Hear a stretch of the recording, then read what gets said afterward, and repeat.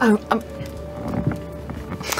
Genuinely, what the fuck was up with that? we haven't talked about this. Yeah. Um. You had to give over your father's name for collateral. What is gonna happen?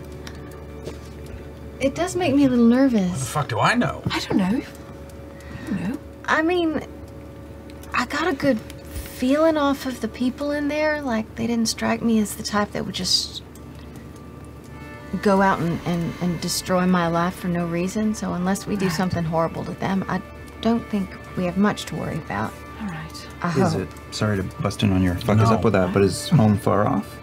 It's, I mean, it's a distance. They'd have to travel a bit in order to get there, you know.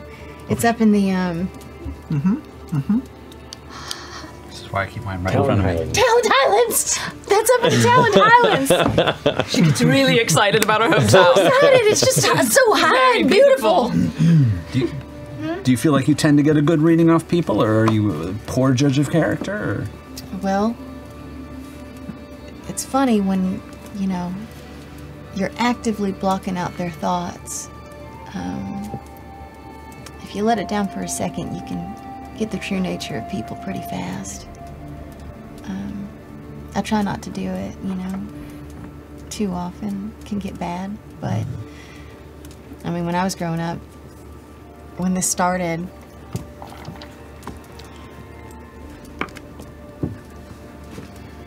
people can be awful.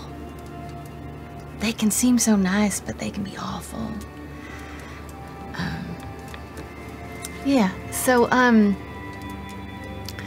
I'm not feeling too worried All right. about my dad. Plus, he's, you know, why would they go after him, you know? So, Do you think he's doing well? I know we left in kind of a hurry. yeah, um, I think he's, uh, you know, it was probably a long time coming. He was probably happy that I'm gone. And he might be doing a bit better now that I'm not there. What's what the fuck's up with that? I feel like there's some context necessary what, for this. What, what happened? You have a falling out with your pa? No, no, no. My dad's great. Um, and he tried. You know, um, when things started happening, and I, I- it wasn't like that growing up. You know, I didn't have all of this. I, I don't know why it started.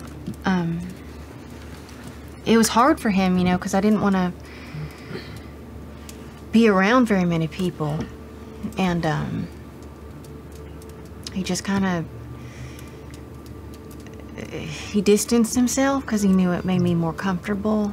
And um, you know the people in town started talking and i think he he tried to distance himself socially as well for a while to try to you know not his fault totally From you or from the people in town? a little bit of both you know Was that very lonely for you? It was for a while. Yeah.